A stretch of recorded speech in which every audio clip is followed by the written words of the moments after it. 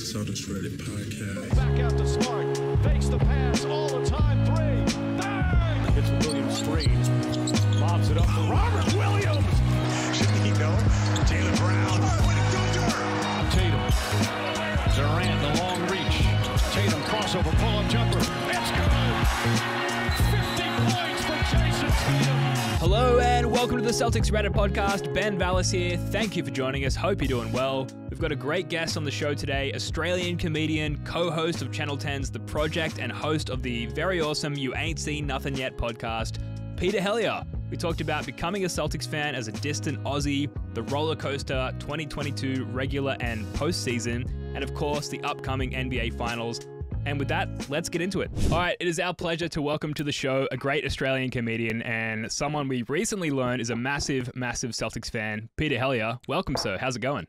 I'm great, Ben Jackson. Uh, yeah, I'm excited. I'm excited to be joining you guys, and I'm excited a couple more sleeps. Yeah, no, Just an exciting time all around.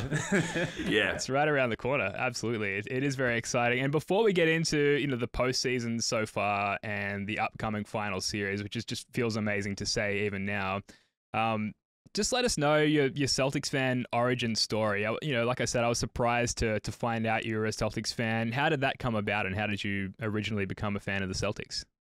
Yeah. I mean, to be honest, uh, probably people identify me as more of a Collingwood supporter. You know, I, I'm very you know hard on my sleeve Collingwood supporter um, in the AFL. Uh, so Celtics have taken a bit of a backseat over the years, but my origin as far as being a Celtic supporter is. Um, it was all because of the sitcom Cheers. I just loved Cheers, and uh, when Kevin McHale uh, was on an episode of Cheers, that just was like, okay, that's that's a big tick. And then my favorite comedy is Planes, Trains, and Automobiles with Steve Martin and John Candy, and there's a cracking uh, Larry Bird gag. Uh, in there, I, th- I think that I'm not sure if you've seen the movie. You really should. It's it's it's, it's a brilliant uh, comedy, but it, uh, it's Steve Martin and John Candy are in a car together, and they're they're both accusing each other of being really annoying, and s- they're coming up with things that are they find annoying about each other. And Steve Martin says, um, no, John Candy says to Steve Martin, "You play with your nuts a lot," and Steve Martin says, "I do not play with my balls," and he says, John Candy says. You, you, are you joking? You play with your balls more in an hour than Larry Bird does in a night. Um, and when I was 12 years old, I thought that was just hilarious. And Larry Bird was a Celtic, and that was that was it. And um, and yeah, so I kind of went on, and, and then like everybody else, I kind of still liked the Lakers, you know, Magic and Kareem, and and was yeah pretty intoxicated by the Chicago Bulls with Jordan in, in the 90s, and I kind of you know you forget how easy it is to watch basketball uh, in, in more recent years. It was kind of you had to get up early and watch it, know, catch a game, um, you know, for a while there, and it was either that or WWF, uh, now WWE for me, and um, and I kind of, you know, I, always kept in touch with what the Celtics were doing and all that, but I just, it was just hard to kind of really keep tabs on, on you know, when the schedule was, so. Um, hence, I probably for a while this didn't really make a lot of noise about being a Celtic supporter. You know, obviously enjoyed when they won and, and um, obviously a little while ago now, but um, and then it was kind of my kids and, and, the, and the programming, you know, the ease of the programming that got me back into it. My kids are big basketball fans. They they all adopted the Celtics. Um, you know, we have Irish heritage in the family as well, and, and it just kind of was perfect. So. Yeah, we're, we're just massive Celtics fans and, and just, just love it. We went over there in 2018 and watched um, we saw at the Garden and, and saw uh, the Celtics take on uh, the Cavs when LeBron was, was still there and, and, and Nice, Kyrie was yeah. uh, playing for us. Uh, we won that game, and then we saw uh, Jimmy Butler when he was at the Timberwolves play us, and um, and we took that one as well. So. Um, and that was Aron Baynes was there. We got to have photos on the court with him, and, Oh, yeah. and uh, it was it was uh, yeah pretty sweet. Nice. nice one, nice one. You said you've um you know taken a bit of a back seat lately. Do you remember like how, what are your memories of like the, maybe the last six seven series uh, years rather? So like maybe post KG Pierce. Is there any years that have stood out to you as your favorite, or maybe the, the team that was the funnest to watch in that period? I, I, I think it's the, the, the team now. Like I, this is why I am so excited. It's not. I I try to tell people it's not just that it's Boston. It's this team, and like our hearts are broken in our family when IT left. I remember coming home from work, and uh, my now old, yeah, well, he was my oldest son there, but he's you know. a few Years old now, he just said uh, IT's left, and he was almost in tears, and I was just like, "Oh my god!" And then he said, "But Kyrie's coming," and I was like, "Oh!" That's pretty good. Yeah, at the time, you, you forget that yeah, that was a pretty pretty exciting. It felt like a pretty exciting trade, even though our hearts were pretty heavy. and We always wanted IT to come back, and still to this day, like this year, like a lot of Boston fans, we were like hoping, you know, um, even on a on a ten day contract, you know, just give us something. yeah. Um, Do you believe um, in the curse?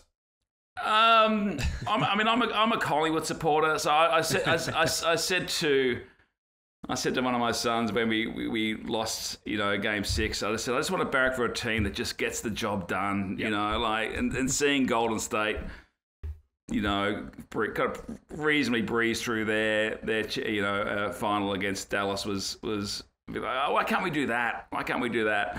Um, but um, no, I, I and, and then Tatum came along, and it was just like, and, and for him to join Jaylen, and all of a sudden it's the Jays, and and this, you know, um, you know, for anyone who follows AFL, I, Marcus Smart for me is like Glenn Archer, who used to play for North Melbourne, just an absolute warrior on the field, and and um, and I, I- keep telling people that this is a, a team that was they're being recruited to Boston. You know, they're drafted by Boston. You know, even the guys who weren't. You got Al Horford, who you played, you know, three years in Boston, and then he's 35.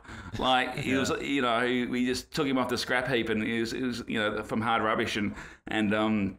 And he's been amazing. And, and, and Derrick White, nobody really thought too much about it. I was disappointed to see Josh Richardson you know, uh, leave. I, I wasn't, you know, I wasn't. I, I could see the, the value of Derrick White, but um, I really love Josh Richardson, just the way he, the way he conducted himself, and and um, um, but uh, but you can't you can't fault the moves, you know that um, that they've made, um, and and yeah, I I, I just completely adore this team. You know, Rob Williams, like everyone. So I'm just going off of my No, no. go- everyone's go it. improved.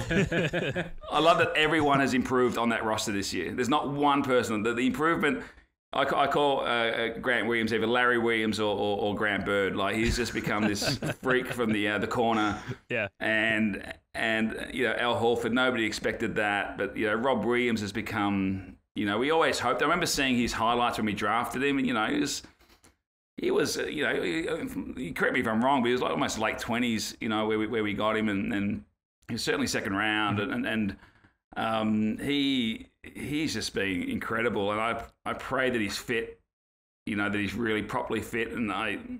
I'm having discussions with my older son, like whether you leave him out of game one just to kind of give him a few extra days to to get over, but um, whatever he's got. But um, yeah, no, I love this team. I was going to jump in real quick there because we had a user, um, Dogma DRP, who literally asked the same question: like, do you rest him to give him an extra t- extra time off? But you've pretty much answered that there. So, would, do you reckon you would just to jump ahead horribly? Sorry. I reckon like, when we when we had Smart and and, and, and I think Rob out for I remember saying it was at least it was game one, you know, and it was away. I think that was against against maybe uh, uh, the, the Bucks, and and um, I thought well at least it's game one, you know, at least it's at least you can recover from there, like as opposed to going into a crunch game, you know, a six or a seven uh, without those guys. So I would be if it's a line ball, I'd give him an extra three days. And I mean, it's a pretty cruel schedule. It's great for us as TV viewers um, to watch a game every day, whether it's Boston or you know on the other side, the other coast. But but Jesus, it's a punishing schedule every every second day you're playing. So we do get that extra. You know, I think it's every three days or so now. So hopefully that'll help. But if you, yeah, if he's right to go, he's right to go. But I would consider giving him that game one off. Yeah. I'd love to see him get a rest and, and have 90% of Rob Williams from game two onwards rather than 60% of Rob Williams from game one Yeah. onwards, and then sort of a diminishing effect on, on his health percentage there. Um, so, yeah, Well, sh- they, they didn't even try a single lob to him um, in Game Seven, which kind of tells me that was almost discussed. Mm. yeah. You know, uh, in, in, in the rooms. Um, so yeah, fingers crossed. very telling. So yeah, I mean, shifting to the current season, and uh, this season has been pretty crazy, a lot of ups and downs. At what point during this season, Peter, uh, if at any point, did you realize that this team was going to be a legit title contender? Um, I had COVID. Um, Sorry in-. Yeah, well, I've had it twice actually. This is why we're doing it on, on, online. Um, and uh, you could you could see they they were winning. You know, early on in that first half, they were winning strange games and losing. we were losing more at home than we were on the road, and I think winning on the road is a sign of a good team. I don't think. I bad teams don't, you know, they can they can they can snatch games in a row, but they're not doing it as regularly as the Celtics were. So I just kind of thought, oh, there's something here. I mean, I've, and I've felt this way the last few years. I just feel like if things were to go right, and Jaylen did his wrist last year, so he missed, so that was like ah. So everyone stayed fit. Every time there's a you see, you know, somebody, you know, the, the, the Celtics report and they're questionable, or you think, oh, bloody hell, and what's this about? I mean, Al Horford came up. I'm not sure how Al Horford misses one game uh, from COVID, but um, we'll let that go. um, it's the protocols, but, man. yeah. so, so I had a feeling there was something there, and I, am not sure if there was a game, but going into the um, the All Star weekend, I remember people kept on saying post All Star weekend, oh, they, you know, they, it was post All Star weekend, but we I think I remember we, we, I think we won like six or seven games into that, and we dropped the last game against Detroit, and I had a few friends who were like, "Ah, oh, how can we lose to Detroit?" I was, and I was like, "I'd rather be beating, you know, Golden State and lose like dropping a game. Like it's a, it's an eighty-two game season. It's it's strange. You're going to drop games unless you are have one of those all-out years where you are just winning almost, you know, 90% of the games, you are going to drop some weird games. And uh, I, I, felt like we did that, you know, a bit this uh, in the first half of the year. And then leading into that All Star, we dropped the Detroit game. And I thought, in fact, I was really happy Detroit weren't in the playoffs, to be honest, because I think we lost to them. Yes, yeah. I think three or four times in the Arch end. nemesis, Detroit Pistons. Yeah, absolutely. like the heat all over. Yeah, yeah.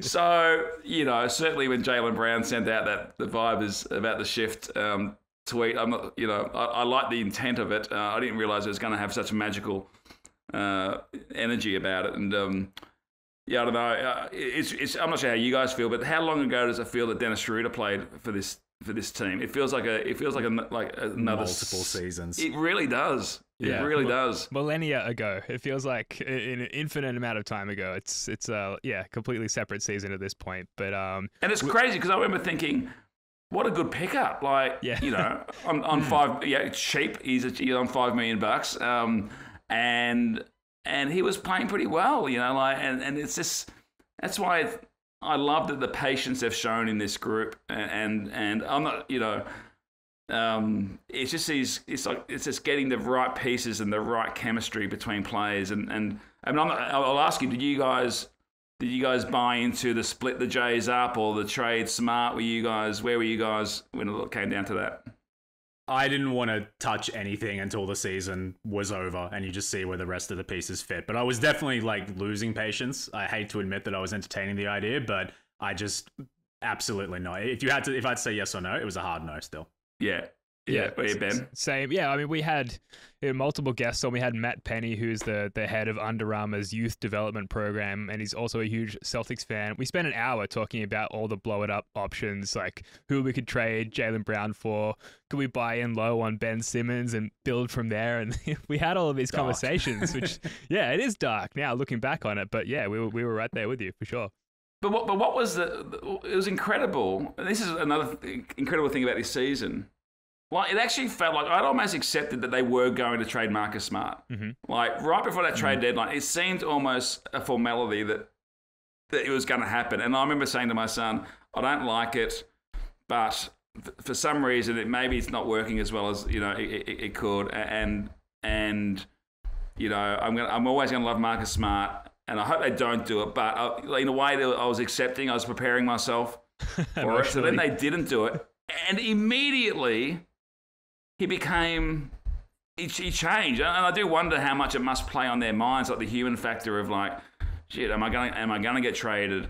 You know, and, and where will they trade me to, and, and, and all those. But as soon as the trade deadline passed and they committed to him, and who knows what was going on behind closed doors and how close they got to entertaining it, but he just became, I think, a, a, a different player. And um, and the ability of uh, Ime Udoka, who incredibly, I'm sure you've discussed this, did not receive, was not in the top three coaches of the year, which he'll embarrass. No. You know, they should be embarrassed by now, and hopefully their embarrass embarrassment becomes more acute over the next um over our next four wins. Uh-huh. Um, but yeah, his ability to get Marcus to play the way he's played, and and for particularly the Jays to to share the ball the way they've been sharing the ball is just just incredible. It's a masterclass. Gentlemen, all men strive for gold in their life, right? Gold medals, gold watches, gold everything. However, there's a certain type of man who goes the extra mile. He walks with the confidence of an eagle and giggles in the face of danger. He's a big, hairless winning machine, and when he unzips his pants, he sees platinum? That's right, Manscaped would like to introduce you to their best and biggest ultimate hygiene bundle yet the Platinum Package 4.0. Manscaped is the leader in below the waist grooming, and now trust them with the whole shebang. Join the 4 million men worldwide who trust Manscaped by going to manscaped.com for 20% off plus free shipping with the code CRPOD. CR as in Celtics Reddit, pod as in podcast. Now, I gotta say, you know, Manscaped as we joined them, as we partnered with them, they sent us out some stuff, and it's really made a huge difference to my my hygiene and my grooming routine. A lot of extra confidence, particularly wearing NBA jerseys and no longer needing to worry about the. Uh, shall I say, the uh, increasing shoulder hair that uh, one male gets as a, as a maturing male. Further to that, going to the hairdresser, getting my hair cut, I no longer see them reaching into my ears or to certain parts around my neck, trimming hair that I didn't realize I had. With the Manscaped package, I, I feel like I'm all over it. So I really I can't recommend getting on top of your own grooming enough and employing Manscaped. Manscaped's brand new Platinum Package 4.0 is the biggest bundle they've ever offered, giving you a bulk discount on Manscaped's top products. The Manscaped Platinum Package 4.0 is the one stop shop for the man who deserves it all. They designed this package to allow you to fully align your entire hygiene routine with elite products. Inside this platinum package, you'll find their Lawnmower 4.0 trimmer, Weed Whacker ear and nose hair trimmer.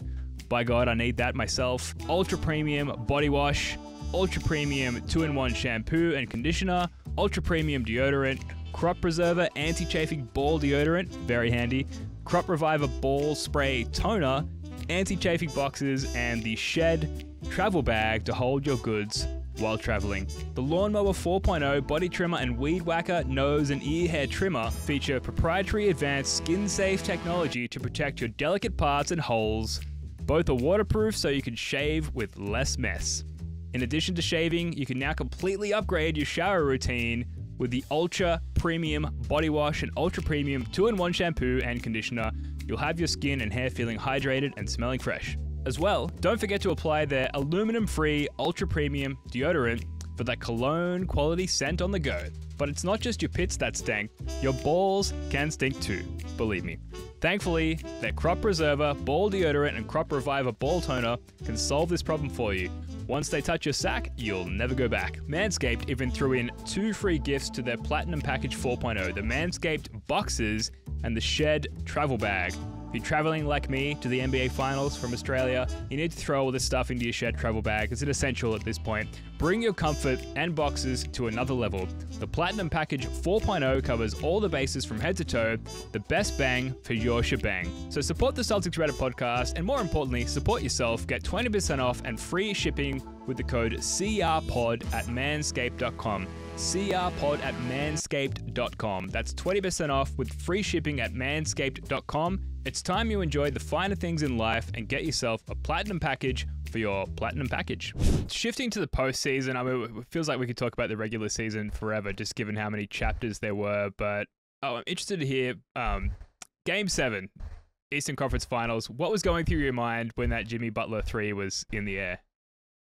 Oh, it was.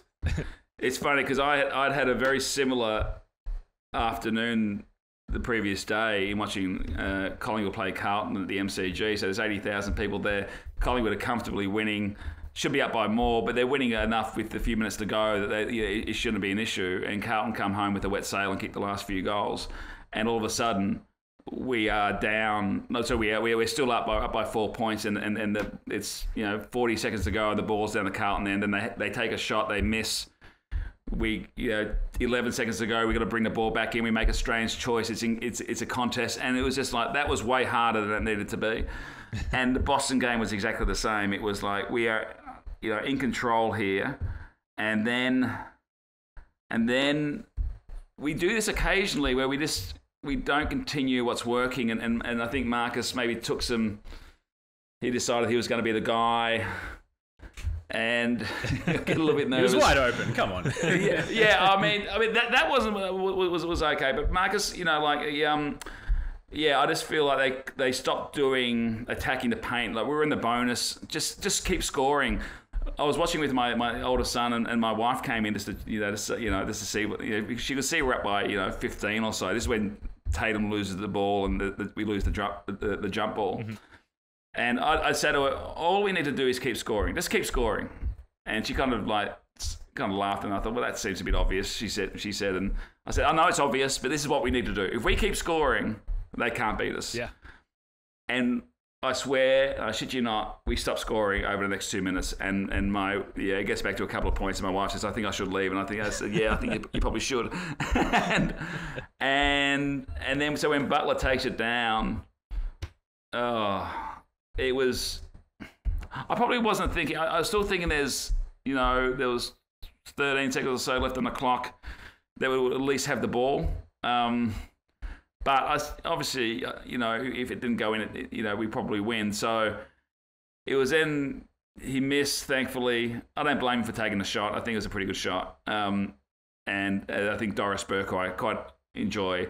Um, she she made the point. He was probably out of his feet. He played every second of the game. He probably just wants to end it there and there and then.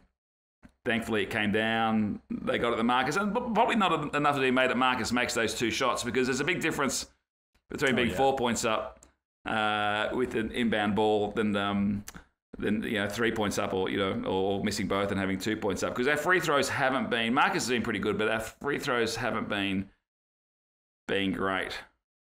Yeah. So after the, the two that Jaylen botched in game six, and it was just, I had the Oh same God. thought. It, it, it can't happen again. But Yeah. Jaylen Um, Jaylen seems to be a fifty percent guy. You know, like you'll get one out of one out of two pretty One down Brown. consistently. One down Brown.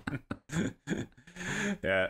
Pete, the obvious question, mate. We're so banged up at this point. Warriors seem quite fresh. Is it going to matter? Can we win this series? I think we can definitely win it. Um, and there's no point barracking for any team if you don't think if you at this point you know you don't think you can win, whether it's basketball or football or whatever. But um, it'll be tough. You know, I think home court advantage probably means a bit more when you've got to go coast to coast as opposed to up and down. Hmm. You know, um, on an hour or so flight. So, but I definitely think we, it'd be great to snatch uh, an early road win. Um, give them something to think about. I'm hoping. I think we just. You know, every player on our team received at least one vote in, in the Defensive Player of the Year. That's incredible. I'm not. I have no idea if that's been done before, but it, it's it says a lot. So they're awesome. Steph will get hot, you know, in in, in, in moments in games or even over a full game, but you can't shoot 40 or 50 every game, surely. So um, obviously there's Clay and and Jordan. I'm hoping Jordan Poole kind of remembers that he's also played some G League games this year, and uh, That'd be nice. um, and Wiggins kind of, you know, but I feel like we got a better, a better seven. Yeah. I think. Yeah. Do you guys think that? Yeah, I think so too. I. I, I think uh, talent wise, and this seems to be sort of the prevailing narrative among the media, is the Celtics have the more talented top seven, but the Warriors have that championship pedigree, and that that matters, especially when no one on the Celtics roster has made the finals. So th- there's a, I, kind of it kind of balances it out evenly, I think, which is what makes it a really anticipated series. Um, I want to get to a, a question from a Reddit user. So to precede that, you know, we had no challenge from the Brooklyn Nets. Really, we swept them, and then we went on to two of the most physically challenging playoff series in recent memory against the Bucks and the Heat. The this Reddit user Mixie7 asks, "Will this be the toughest matchup the Celtics have faced so far in the playoffs? Like the, the the Warriors are more of a finesse team than a physical team, but they do what they do so well. Do you think that'll be the toughest thing we've seen so far these playoffs? I think it's only toughest because it's it's it's it's for the it's for the ring. I I, I, I do. I think the, the, the, the your listeners probably getting at yeah the fact that I think I think the Bucks are a more physical team, and I think Miami were a more physical team than you know. And you made the point as well. Um, so I think physically they won't pose as far as banging us up. I I, I don't think we'll get as banged up, um, which is which, which could be important. Um, but it is just that that perimeter shooting. I think if we can, yeah, I love the way. I'm not sure if you can do the same with Steph or with with uh, Clay or even Jordan Poole, but the way Derrick White guarded Duncan Robinson, who has scored against us, you know, previously and, and come on and be dangerous. He, he just kind of he, just, he, he, took him from behind in a way. He just had his hand, and Robinson couldn't get a shot up. Now, Steph Curry, this may be a controversial opinion, I rate higher than Duncan Robinson. Um, so, no. yeah, yes. That's a hot take. You, you wanted some hot takes, guys, and I'm bringing them. Um, but if Derrick White can can carry on his form, and if he can have another kid between now and then, that'd be uh, awesome. Superpowers. Um, his superpowers in the in in in, that in that birth. Um, then I think that's that's also huge. And if Marcus can be absolutely switched on, which he, he usually is, that's usually not an issue. And, and if Rob can be fit, because when you, you saw Rob when he plays, he just he changes that space, you know, the, the, and the way they attack the paint. It's just that they they go in and they have to kind of retreat and um and and and so that's great. So I don't know. I'm confidence. I feels like you know will, will jinx it, but um, you know I, am I'm, I'm looking forward to a, a contest and and um, yeah, I think we can do it. I think we can do it. What's the what's the advantage nice. for the Celtics here? Like if you're if you're coach Udoka for a day, you're coaching the Celtics and you're saying, you know, attack this weakness of of the Warriors. What what are you how are you guiding the Celtics to victory there? What weakness are you trying to exploit? Well, I mean, Golden State, you kind of forget that they are pretty good defensively as well. Like they're they're, they're not um, they're not chumps. They're not, they're not just three point you know um, shooters. Um, and, and then the answer is I don't really know. Like I, I neither do we. I yeah, no. I, I, really don't. And and, and what I what I'm going to love watching, which what I really love watching, particularly in um, even with the Brooklyn series, but particularly the Bucks and and Miami are the changes both teams made from game to game to adjust to whatever was happening, you know, in the last game. It's like nothing seemed to work twice in a row. You know, like the, the, the adjustments were made by the coaches. So it'd be fascinating to see how we come out on, on, on Friday and and and and, um, and, and play them and, and but then I, I, I, suspect we'll have to do something different in game two, whether we uh, you know win or lose. Let's just say we get to game seven and we win that game. What does a championship celebration look like for you, Peter Helliar? Well, how, how, how wild are you going? I've already looked at it. I literally, and I made a change it. I'm not sure whether to change it now because I, I may I may moz it, but it's the day after, the morning after the Logies. And oh, wonderful! So I'll be on the Gold Coast, and then I'm going to in Cairns to join my family for a, a week holiday, and I think I'm going to be literally on a, on a flight. So I will I will have to change that flight. Yep. Um, either get up earlier to Cairns and watch it with my, which I think would be the preference, um, and then and then just drink for um, for a day at least. And and I was in Ireland in Dublin.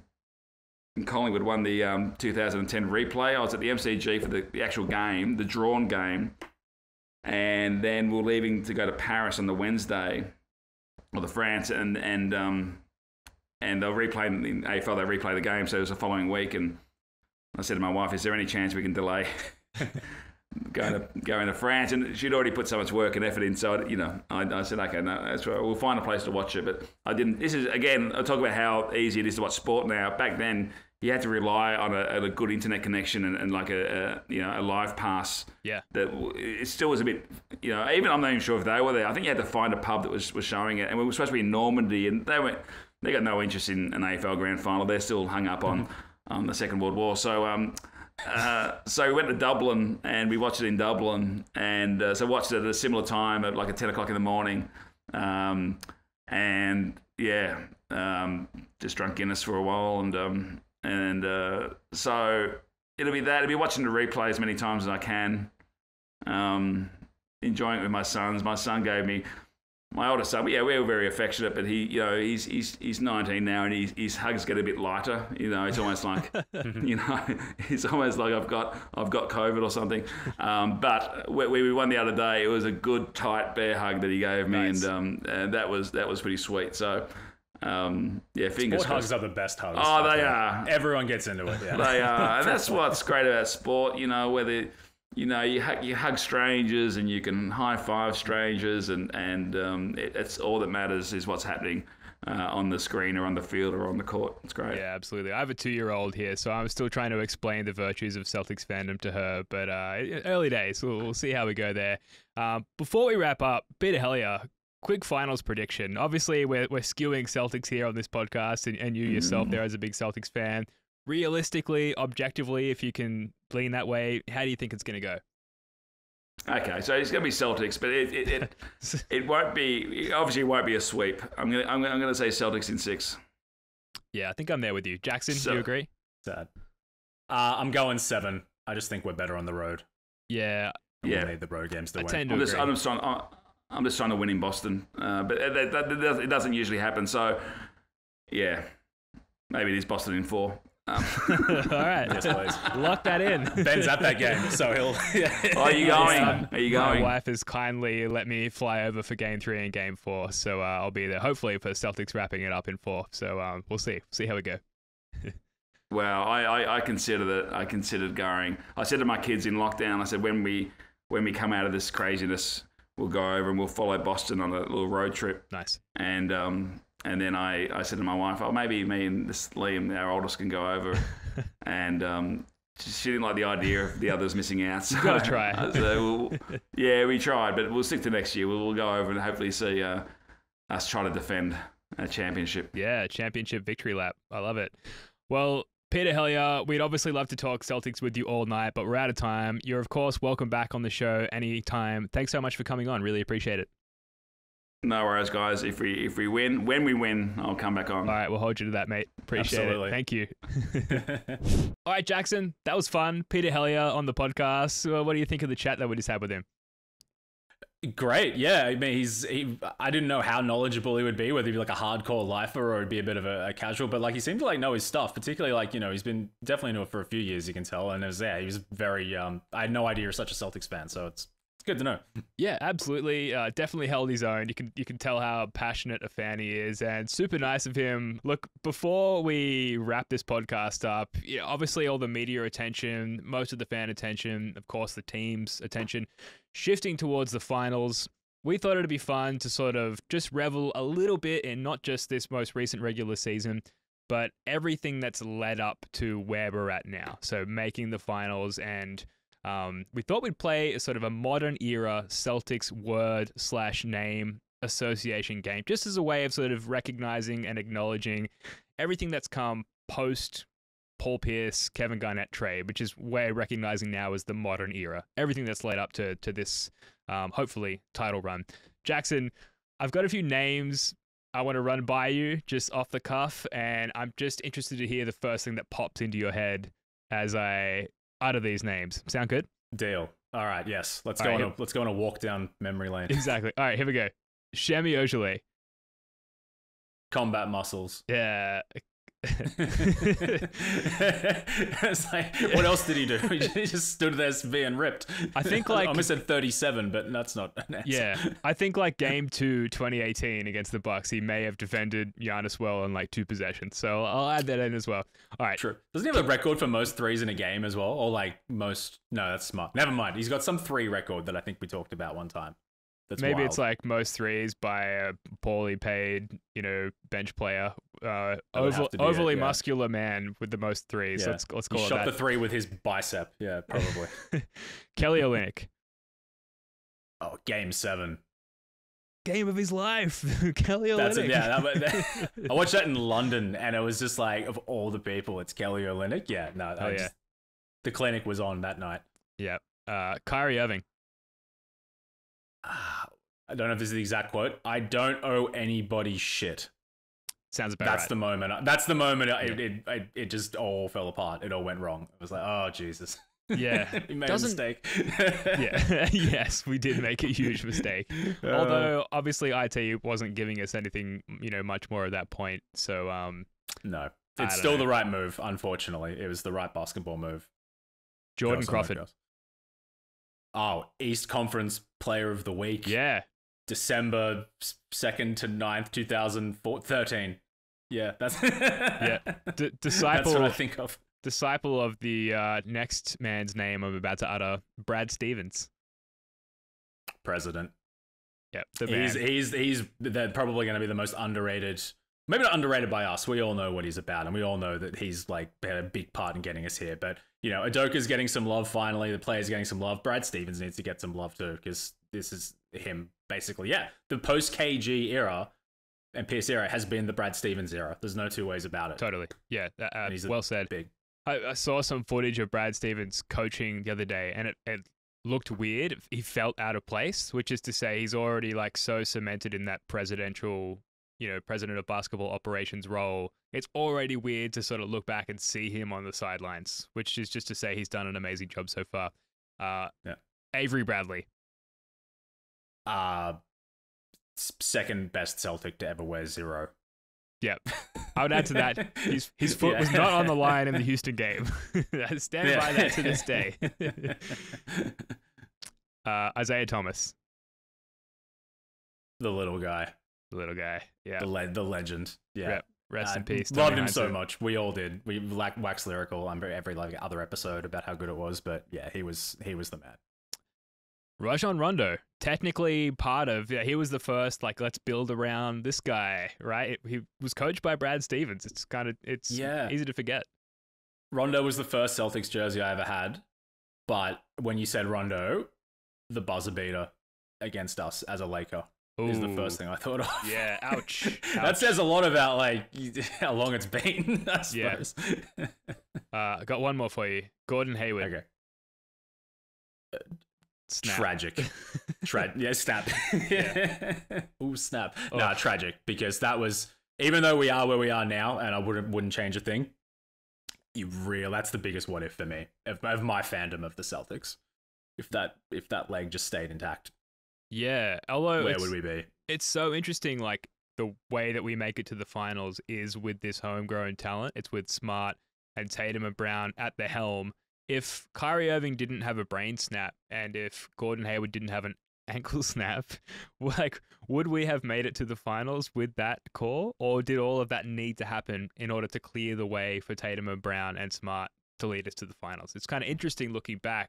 Like, everything fell perfectly for us in the end now that we're here. But, uh, interesting sort of sliding doors moment. Yeah. I think we would have got. I think if they stay healthy and Kyrie keeps his head on, I think we get one more star, and then we have like big three part two. Yeah, Uh, right. but instead, we've got we've got something much better, much much much better in my opinion. you got anything for me before we wrap this up? I do, you know. I do. Terrified. Me, uh, should have been more prepared. Okay, a little, little bit more out of, a little bit more out of left field. I'll accept just a single statement and we can move on. Okay. Uh, Jonas Jerebko.